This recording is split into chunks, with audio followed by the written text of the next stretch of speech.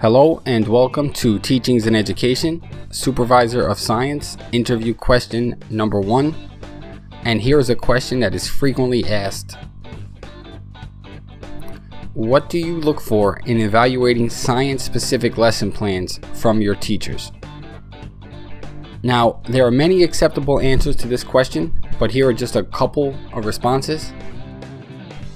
The first thing you want to look for is clear and measurable lesson objectives. Student objectives should be aligned to standards and measurable in terms of student success. Secondly, I would look for increasing levels of cognitive rigor. For student success, teachers must plan for activities and assessments with higher order thinking skills. Third on the list, look for specific learning activities. The success is in the details. Great teachers plan for specific activities and provide step-by-step details. Next up, look for alignment of curriculum and standards. So match the lesson plan standards to its corresponding map in the curriculum. And lastly, look for the necessary components. Lesson plans should have accommodations, modifications, activities, objectives, standards, differentiated instruction, student grouping, and much, much more.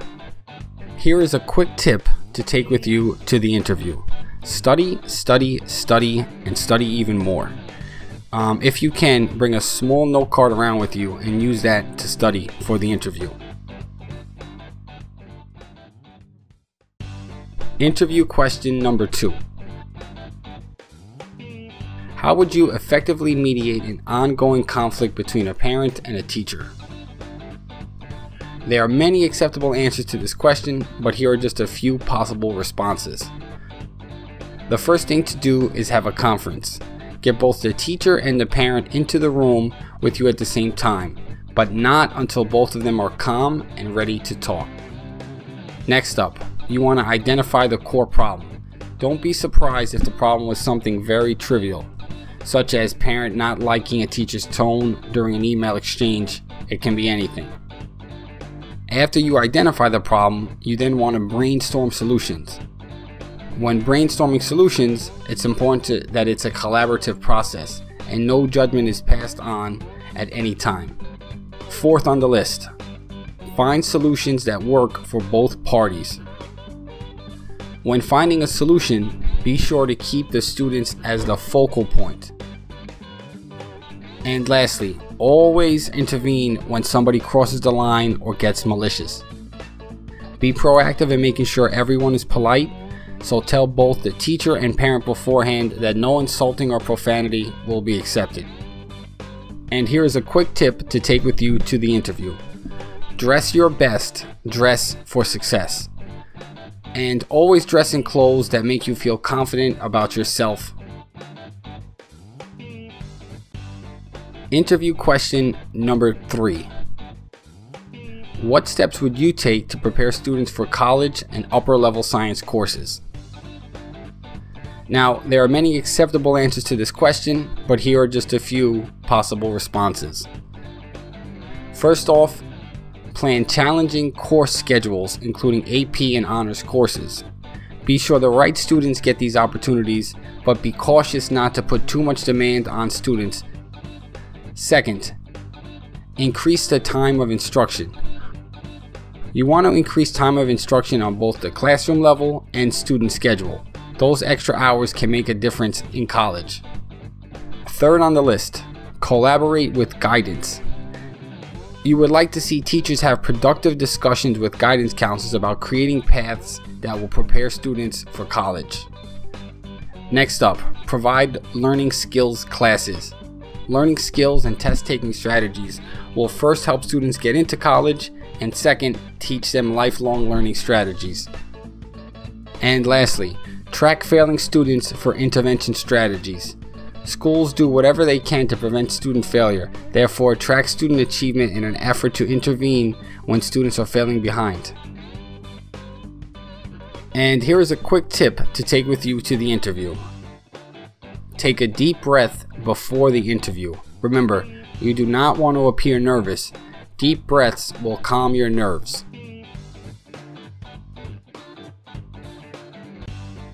Interview question number four. As department supervisor, how do you handle a student that frequently disrupts learning? Now, there are many acceptable answers to this question, but here are just a few possible responses. First off, talk to the student's teachers.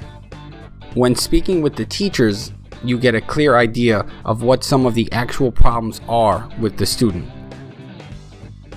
Second, administrators should support and empower teachers. Allow teachers to discipline students and show teachers that you support them. Third up, provide increasing disciplinary actions to the student. You may begin with a stern talking, but that fades quickly. You must move on up the ladder from detentions to suspensions, bringing the parents in and so forth. Next up, look into behavior intervention and support system. When discipline doesn't work, you should look into positive supports and interventions. Schools often employ behaviorists specifically for this purpose. And last but not least, wraparound services. They say it takes a village to raise a child, and wraparound services is just that. Reach out to anyone and everyone willing to help this child. And here's a quick tip to take with you to the interview. Do your research on the school always have a little bit of background knowledge on the school that you are applying to.